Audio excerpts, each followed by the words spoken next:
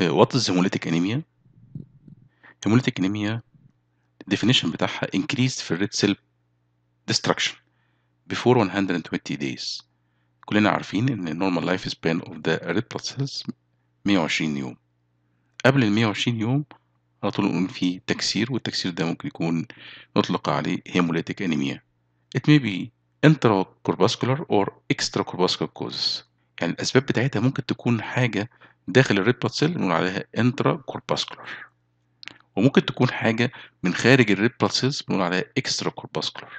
التكسير ممكن يتم في ال intravascular في ال blood vessels أو extravascular في ال liver وفي ال spleen بال macrophage ال intravascular destruction على طول الهيموجلوبين بيطلع على ال blood يبقى فيه hemoglobinemia يعني معناها هيموجلوبين في الدم و hemoglobinuria. الهيموجلوبين اللي في الدم ده في الآخر لازم يروح على ال kidney to be excreted in the urine.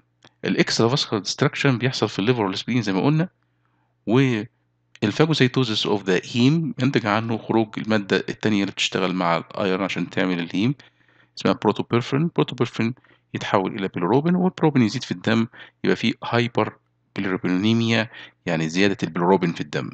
نتيجة لكده بيحصل مرض مشهور جدا اسمه ال jaundice والصفار أو اليرقان وده بيبقى مرتبط بال extravascular destruction